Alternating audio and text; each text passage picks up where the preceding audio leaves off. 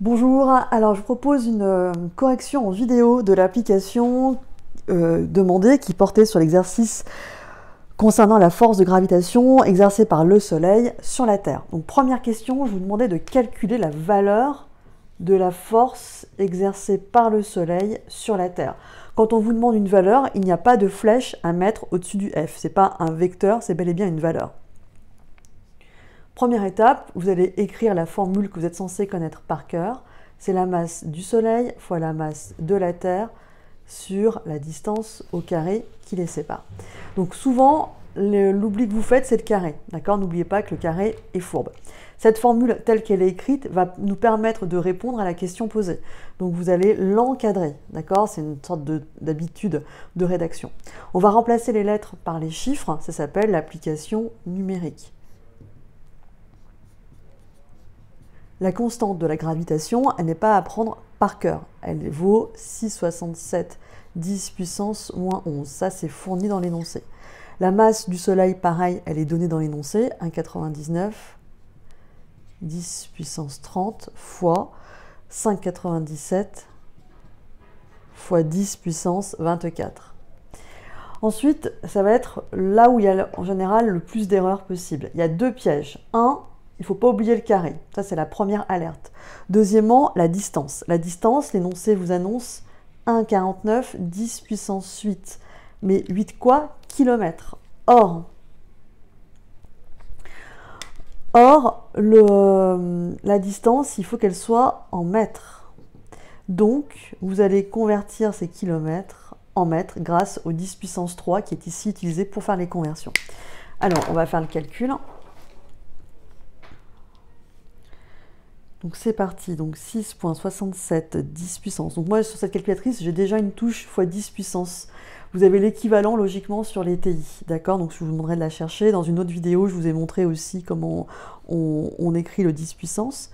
fois 1.99 fois 10 puissance 30 fois 5, pardon, donc je suis pas vraiment en face de ma feuille, fois 5.97 10 euh, puissance 24 et le tout divisé par, donc parenthèse, 1,49 10 puissance 8 fois le 10 puissance 3 pour convertir, 10 puissance 3, et on n'oublie pas quoi? Le carré, d'accord? Vous n'oubliez pas que le carré est fourbe parce que vous le notez en général bien sur la formule littérale, vous le marquez même éventuellement dans l'application numérique, et au moment du calcul, souvent, vous oubliez de le, de le proposer.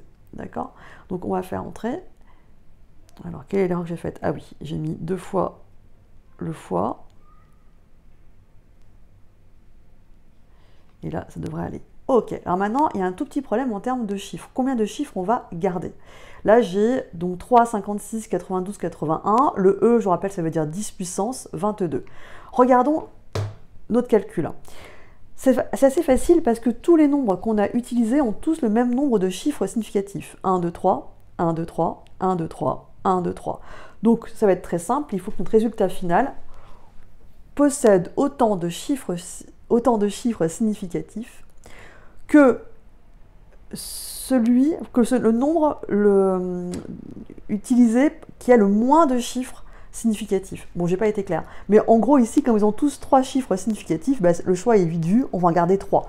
Donc si on revient sur notre euh, calcul, trois chiffres, ça veut dire 3, 57, 10 puissance 22.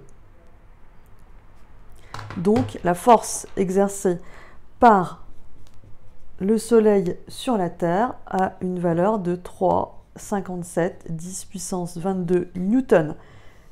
Là aussi, vous n'oubliez pas de mettre l'unité et vous soulignez à la fin votre résultat. Ok, donc ça c'était pour la première question. Donc je résume. Première étape, première étape, vous mettez la formule littérale que vous allez utiliser, vous l'encadrez.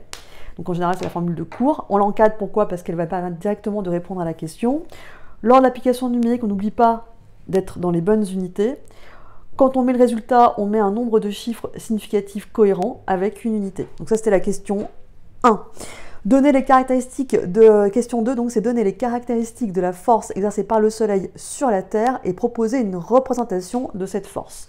Alors, on va refaire cette fois un schéma. Et on peut répondre de deux façons en fait à cette... Euh, non, là non. Donc le soleil, je vais le faire ici en plus gros, et on me dit que c'est 1 cm, 1 cm pour 10 puissance 22 newtons. Nous, on a combien? On a 3,57 10 puissance 22 à représenter.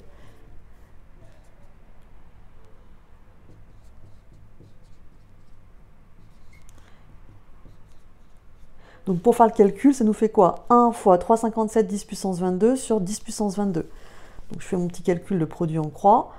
1 fois 3,57 10 puissance 22 sur 10 puissance 22. On peut simplifier par 10 puissance 22, donc ça va nous faire 3,57 cm de long pour notre vecteur. Alors la force exercée par le Soleil sur la Terre, c'est ça qu'on vous demande ici. Donc, qui subit la force? La Terre. Donc, on va partir de la Terre. C'est une force qui est attractive. Le Soleil va attirer la Terre à raison de 3,57 10 puissance 22 newtons.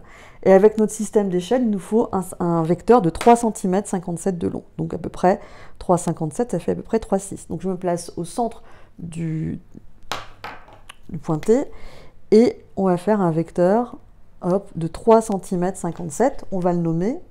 Donc, qui subit la force C'est la Terre, c'est normal, hein, c'est la force exercée par le Soleil sur la Terre. Et on met un petit vecteur, hein, pour bien dire que c'est une direction ici selon la droite ST, le sens vers le Soleil, et la longueur 3,57. Donc si jamais on devait expliciter les caractéristiques, d'ailleurs c'est ce qu'on vous demande dans l'énoncé, dans eh bien c'est parti. Force exercée par le Soleil sur la Terre, direction, donc celle de la droite ST, sens de la Terre vers le Soleil, puisque c'est une force qui est attractive. Valeur, la force exercée par le Soleil sur la Terre vaut 3,57 10 puissance 22 newtons. D'accord? Et là, vous notez bien que je mets que je ne mets pas de flèche ici, puisque ce n'est pas un vecteur, c'est une valeur. Ça, c'était la question 2. Question 3, en appliquant le principe d'action réciproque, hein, ça rien d'autre que la troisième loi de Newton, je vous demande de me donner les caractéristiques de la force exercée par la Terre sur le Soleil. Donc, d'après la troisième loi de Newton, qu'est-ce que je peux dire? Bah, Je peux dire que, alors je vais essayer de prendre un peu de hauteur avoir davantage d'écran. Je sais pas si ça va être... Voilà. Donc, d'après la troisième loi de Newton, quand le Soleil agit sur la Terre, simultanément, la Terre agit sur le Soleil avec la même direction, donc c'est-à-dire celle de euh, la droite ST. Le sens, cette fois, ça va être vers le soleil, euh, vers la Terre, pardon.